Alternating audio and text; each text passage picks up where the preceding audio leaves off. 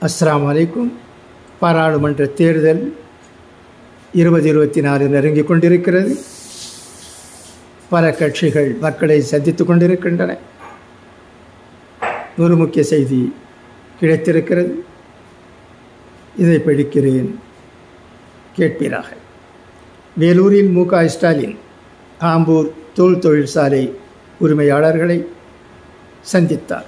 வேலூரில் தேர்தல் பிரச்சார பொதுக்கூட்டத்தில் கலந்து கொள்வதற்காக வருகை தந்த கழகத் தலைவரும் மாண்புமிகு தமிழ்நாடு முதல் அமைச்சருமான திரு மு க ஸ்டாலின் அவர்கள் ஆம்பூர் தோல் தொழிற்சாலை உரிமையாளர்கள் சங்கத்தின் தலைவர் திரு மக்கா ரஃபீக் அகமது செயலாளர் திரு ஃபையாஸ் அகமது மற்றும் ஆம்பூர் ஜமாத் தலைவர் திரு அஷ்ஃபாக் அகமது மற்றும் நிர்வாகிகள்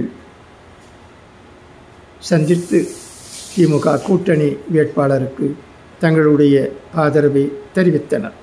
உடன் கழக பொதுச் செயலாளரும் மாண்புமிகு நீர்வளத்துறை அமைச்சருமான திரு துரைமுருகன் மாண்புமிகு அமைச்சர்கள் திரு ஏவா வேலு திரு ஆர் காந்தி வேலூர் மக்களவைத் தொகுதி வேட்பாளர் திரு கதிரானந்த் அரக்கோணம் மக்களவைத் தொகுதி வேட்பாளர் திரு ஜெகத் ரட்சகன் சட்டமன்ற உறுப்பினர்கள் திரு நந்தகுமார் திரு வில்வநாதன் திரு கார்த்திகேயன் ஆகியோர் உடனிருந்தனர்.